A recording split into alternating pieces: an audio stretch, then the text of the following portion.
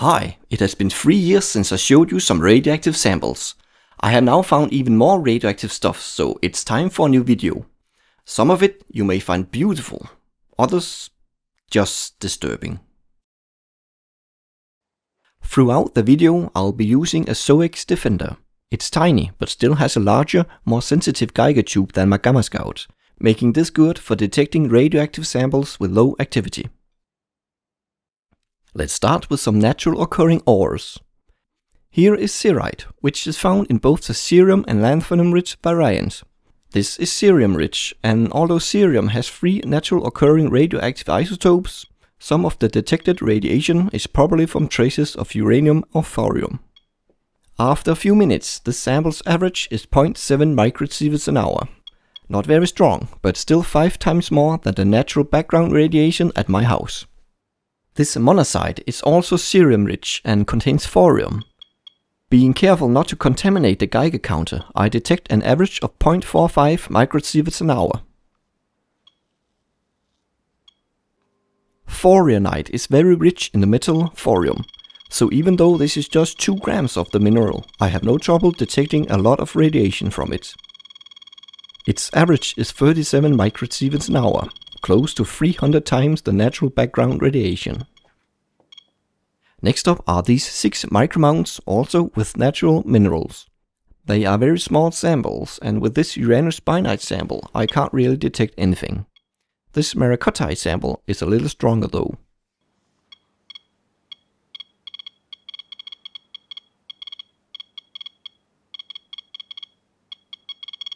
Three point seven in average is not bad for a micromount. My sample of the pale green schröckingerite is also easily detected as radioactive due to the uranium content. Nickel zippeite is also rich in uranium and scores an average of around 0.9 microsieverts an hour, even in this tiny amount. The closely related natrozippeite sample is better and scores quite high, close to 9 microsieverts an hour. But that is nothing compared to the uraninite.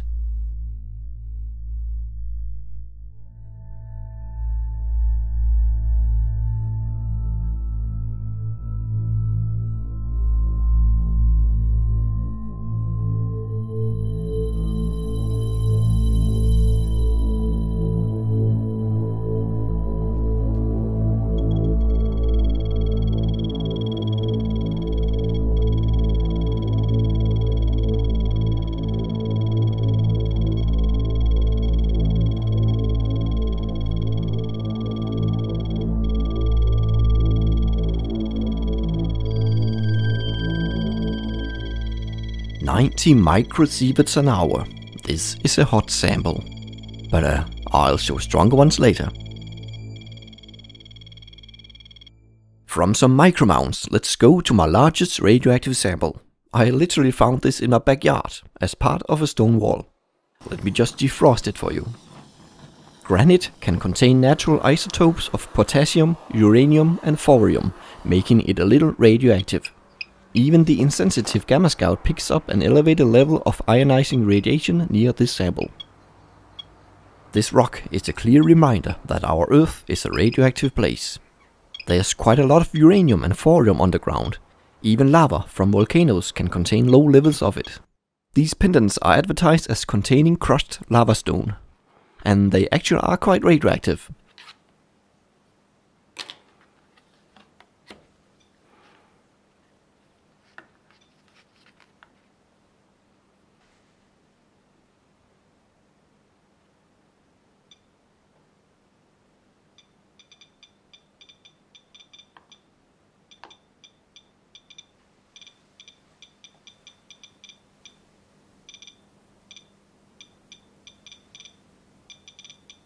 Hmm, this is a little more than I expected from lava.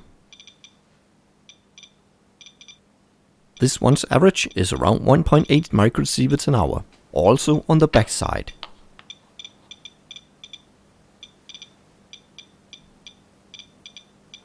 Let's try another one. Maybe the first one was a fluke. Um, no. This is clearly radioactive too.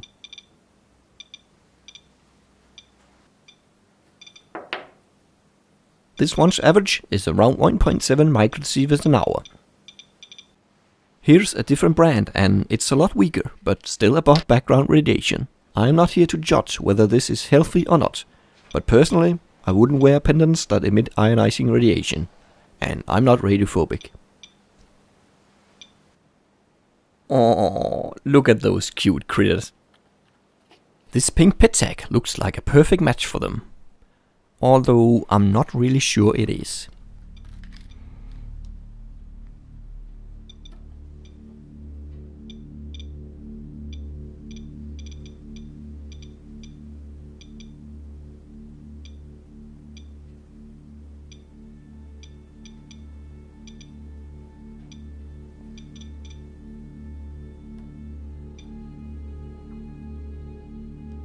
Fair enough, it's not stronger than a large piece of granite, but why not choose a non-radioactive one?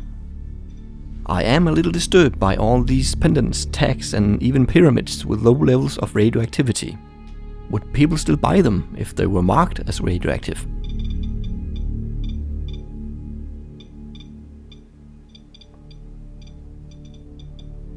Healthy or not, this pyramid scores an average of 1.8 microsieverts an hour. The next sample is uranyl acetate. This is used as a negative stain in electron microscopy. Uranium is opaque to electrons, so it can stain the background, making the specimen to be seen more visible in the electron microscope. And this is of course also radioactive.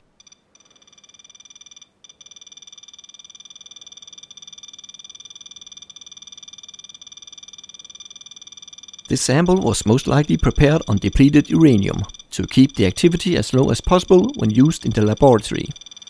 It still scores an average of 22 microsieverts an hour though. Let's move on and discover what is hiding in this can.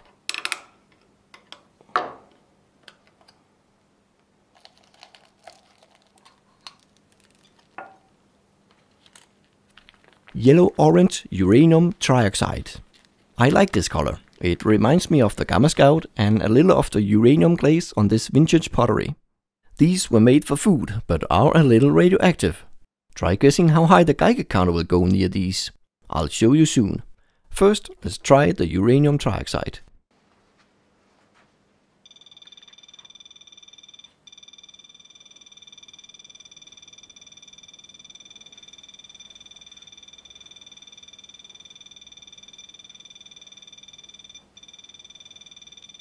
33 microsieverts an hour in average.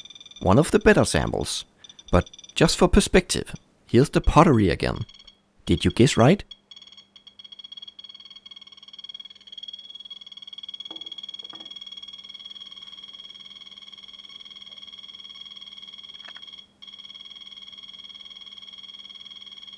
These are still considered safe to eat from. Just avoid acidic food and drinks. I don't use them personally though, I prefer the non-radioactive for my food. 50 microsieverts an hour. I think it's time to really put the Geiger counter to the test. To do that, I will show you 5 of my pitchblende samples. Pitchblende is uranium oxide and basically it is uraninite. But pitchblende is an older term and often used when the uranium oxide is more scattered in the mineral instead of nice groups of uraninite crystals. This first sample is one of my smaller pieces of pitchblende. The seller's specifications are in the top left corner.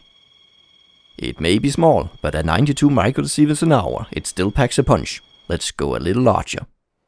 This one even has a thin layer of gold-like pyrite on it.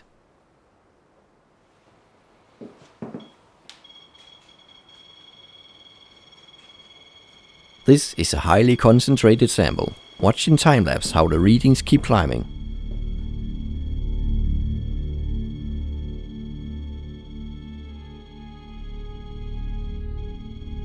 It stops at 320 microsieverts an hour, but it could be a little more.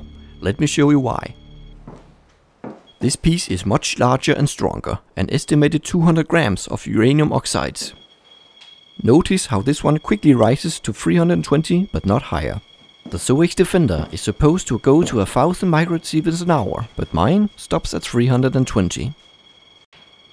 Alright, let's try the Gamma Scout instead.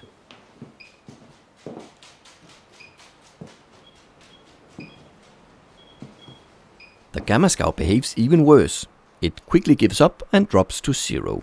So this piece is too hot for my Geiger counters. So the measurements on the two final pieces are not really surprising, but here we go. I really like the looks of this one, and it's strong too. Enough to max out the Defender and zero the Gamma Scout.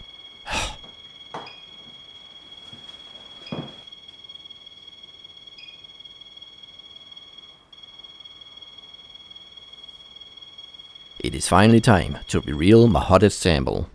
A pitchblende monster with over 400 grams of uranium oxides. It looks like a normal boring rock, but with the clicker turned on on the Gamma Scout, you can hear that it is screaming when near this rock. This should obviously be treated with respect, but it's still low radioactivity compared to, say, the inside of a nuclear reactor. In the description, there's a link to a video where BioNerd23 finds a tiny fuel fragment from Chernobyl, and it puts out 115 millisieverts an hour. So this rock is perhaps only 1% as intense as that tiny fuel fragment. Anyways, I'm not looking for anything stronger than this piece. Speaking of BioNerd23 and Chernobyl, I actually won a video contest and she sent me these souvenirs from Chernobyl. Quite odd that such a place is now a tourist zone with its own souvenirs. Do you think we'll ever see something similar in Fukushima?